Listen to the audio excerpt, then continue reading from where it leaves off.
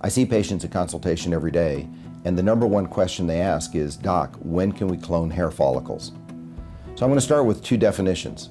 Cloning is actually taking a population of cells and then in certain conditions growing millions and millions of copies of these cells.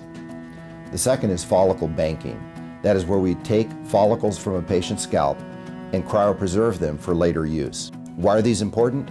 We think these two things are going to be the basis for future treatments of hair loss. I just became a partner in a company called HairClone in the United Kingdom.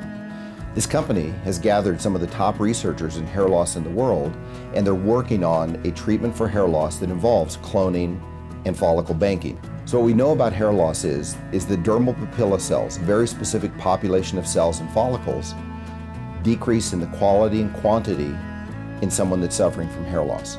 How does the process work? Dermal papilla cells from the banked follicles are separated and then cloned. The cloned dermal papilla cells can then be injected into areas of thinning hair. We're hoping this treatment will be available in approximately three to five years.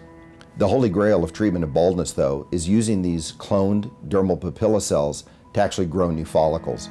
We're hoping that in 10 to 12 years, we actually have that as a possible treatment, that we can actually grow new hairs. These dermal papilla cells can act like seeds, and wherever the seeds are implanted, you develop a new hair follicle. These two treatments will hopefully provide hope for people with hair loss in the near future.